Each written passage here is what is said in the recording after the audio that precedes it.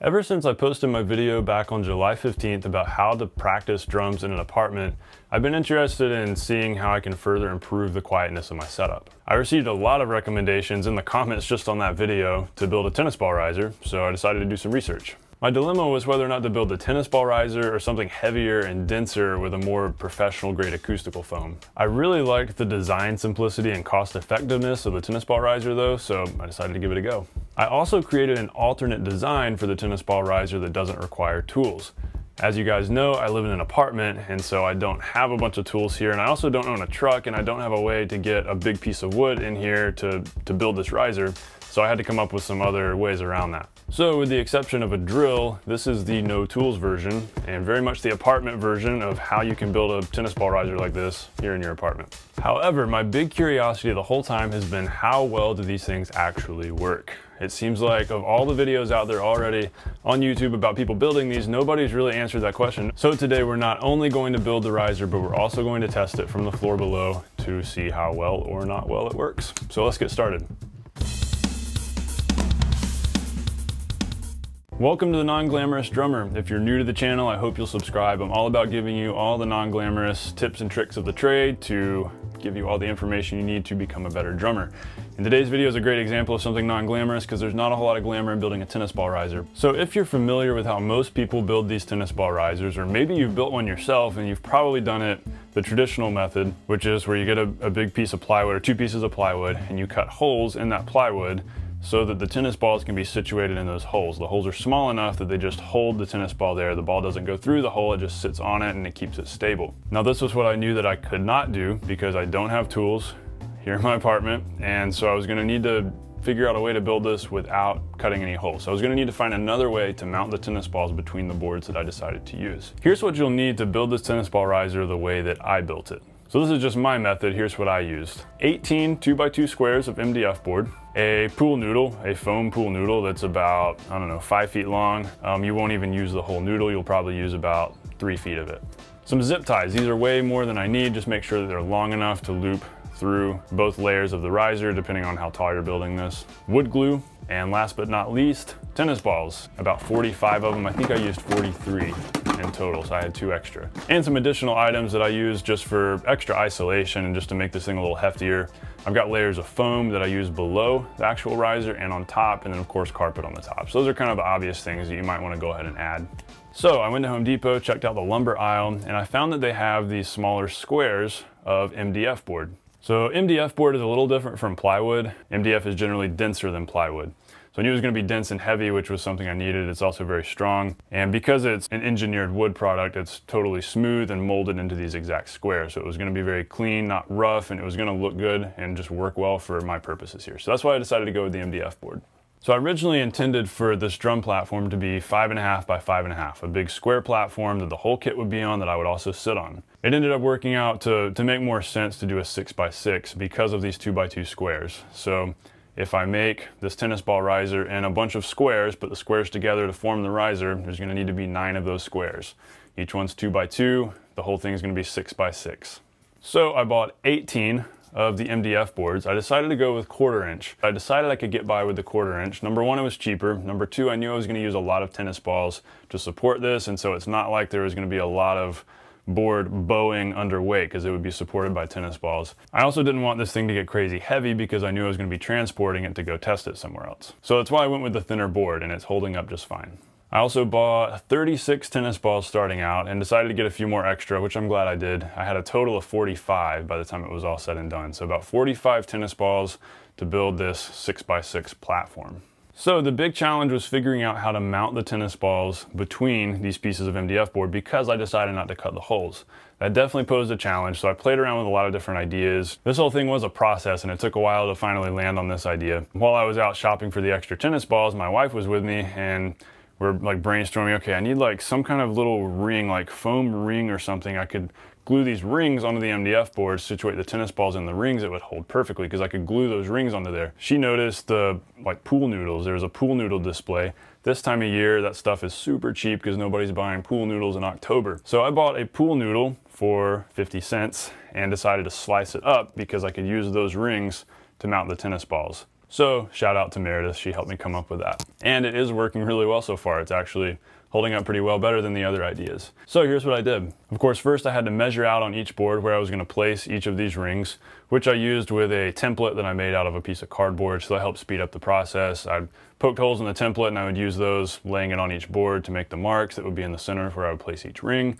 So that whole process went pretty fast. I would slice up the, the pool noodle just like slicing up a vegetable, put some dabs of wood glue on it and slap it on there. And so I got this whole process going, got all of the, the squares done. But as you can see here in this shot where I've got them all stacked up, they're, uh, they're very bouncy. It's like moving around with a spring here as I'm pushing them around. And I decided to go ahead and set it up and see how well it worked. It ended up being pretty shaky. The boards were holding up just fine. Like I wasn't worried about a board cracking. It was supporting the weight of the drum set. But if you would step on one of them, even if it had a lot of tennis ball support, it would wiggle back and forth. So that's where I knew, okay, I've got to do the next step. I've got to put zip ties on this thing, which is a kind of a standard thing that most people do with their tennis ball risers anyway, so that it doesn't totally fall apart on you. This is where the drill comes in. So this is really the only power tool I had to use, just drilling holes in each corner of each board so that I could thread the zip tie through and tighten it down. This entire process took a long time, so I'm just showing you a couple clips of it. So I drilled holes in the corner of all of the boards and got the zip tie tightened down just to where the, the board would start to bow because I had each corner really tight so that I knew it would definitely stay together and not wiggle back and forth. I'll also go ahead and show you right here in this shot. Here's a shot of one of the squares that I built to support more weight. This one has four more tennis balls on it than the rest of them. I made most of them with just five tennis balls, one on each corner, one in the middle, which is fine when all it's supporting is a cymbal stand or hi-hat stand. But the square that has my throne on it that I'm sitting on needs the extra support. So does the next one in front where my right leg is and then the one where the kick drum is. And so I made all of these with more tennis balls, so I added extra pool noodles there uh, just so these things would be more sturdy. What is really cool when you've got that many tennis balls in there, even though it's only a quarter inch MDF board, you stand on it and it feels very solid. Like there's no bowing of the wood, it might as well be a half inch or three quarter inch MDF board. As you can guess, I just place the tennis balls on each of those rings. They get situated nicely in there. Lay down the next board on top of that. It sits in place perfectly. It wobbles around just a little bit, but you know, the balls are held securely there, or at least they're cradled. They're cradled securely in there by the pool noodles. Nothing's going anywhere, nothing's gonna break. This is holding up pretty well, so this should get the job done.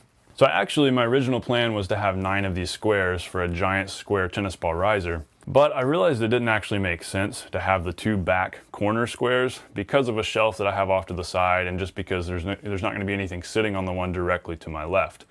So this actually ended up being six squares, so a rectangle that the drum set's on, then one square in addition to that that I sit on. So I had some extra MDF boards, which I just lay on top of what I've got for extra reinforcement, especially the one that I'm sitting on, just to make sure the legs of the throne aren't putting any stress on the MDF. So this whole tennis ball riser sandwich consists of, um, well, I've got a carpeted floor in the very bottom. Even if it were hardwood, I would go ahead and start with the foam, which is what I do here. So first layer is a layer of workout floor mat foam that you can get at Walmart or on Amazon. They're like jigsaw puzzle pieces, snap them together. That's the first layer. Then I laid out the tennis ball tiles on top of that. On top of that is the next layer of foam, which is the same type of foam. This just happens to be a different color. And then on top of that, a rug that I make sure will go underneath the throne and the kick drum. Now, ideally, I would just have one big rug here that would perfectly fit this, but I don't.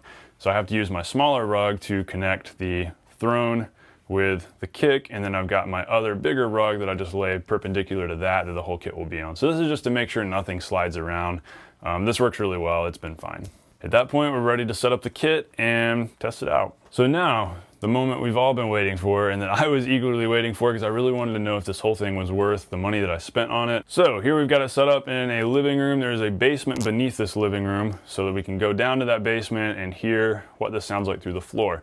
Now this living room has hardwood floors and so it's actually not as isolating as if there were carpet and carpet padding. That would actually help things be even quieter. I'm also not totally sure if there's any insulation in this floor. But regardless, we'll see if there's a difference. That's what we're looking for here, a difference between the kit just set up on a piece of carpet, no riser, and the kit set up on the riser with the foam and the carpet and everything. By the way, I'm recording the audio with my Tascam handheld recorder, which is um, just a stereo condenser mic with no effects. This is totally raw. It's a very sensitive mic when I crank the gain up, which I did have to crank up very high for this to to actually pick up the subtle noise of a drum set up through the ceiling. You'll actually notice that my footsteps walking towards and away from the drum set are louder than the playing itself. So that gives you an idea of just how quiet the whole practice kit actually is. This is the super pad on the kick, the R-tom on the snare, and the Zildjian L80s on the hi-hats. So this whole thing is not loud at all. So here it is, um, no tennis ball riser, just sitting on a piece of carpet on the hardwood floors. Here's what it sounds like.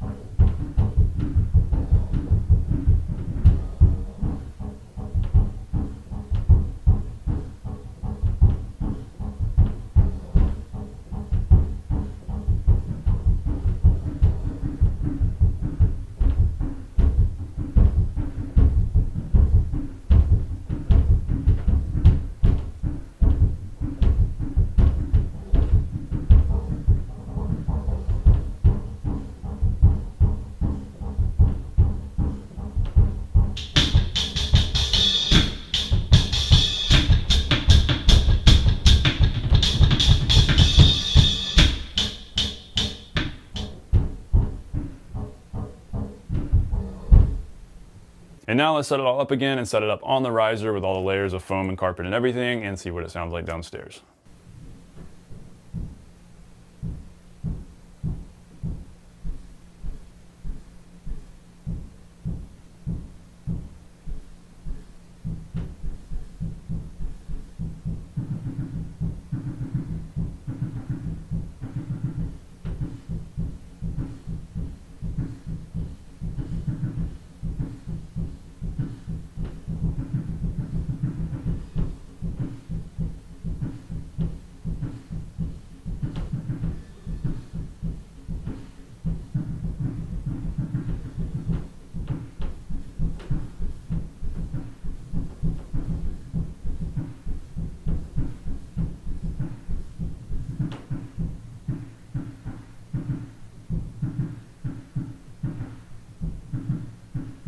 So moral of the story here, yes, it does actually work. I think it's worth it.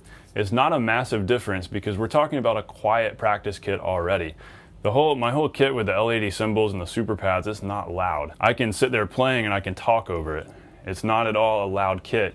So the neighbors might not even hear it a lot to begin with, but this is just one of those additional measures that, that we can do that makes it even quieter and just takes a little bit of that rumble away. It's funny how listening to it, we can't tell as much just because we're talking about low frequencies here. And when the frequencies are low like that, there's less of a difference to our ears and more of a difference in feel. And so if I were sitting down there listening to myself play it, I would feel a bigger difference because there would suddenly be a lot less low frequency going through the ceiling, going through the walls. What I also observed here was that if you move just a few feet out from under the kit on the floor below, you don't notice it. For instance, in this apartment, the neighbors downstairs might hear a little of it thumping if they're standing right beneath it here, but if they move outside that room, they're not gonna hear it because it's not traveling through the walls. You're only gonna hear a little of it directly underneath. The tennis ball riser greatly reduces the amount of space throughout a building that that noise can travel. So I think that very much makes it worth building, makes it worth doing, especially if you're getting any kind of complaints from your neighbor. This could solve your problem. So yes, it works, and yes, I recommend it. So everybody, thanks for watching. I really hope this helped you out as much as this whole thing has helped me out. Big thanks to all my subscribers for watching my videos. And if you haven't subscribed, I really hope you will. Um, if you're interested in all these non-glamorous drum things, I've got drum lessons, I've got technique stuff, DIY stuff like this, and just general tuning tips and gear reviews, things like that all over the channel. So I hope you'll find something useful here if you check out my other videos. So guys, thanks so much for watching. I will see you on the next video.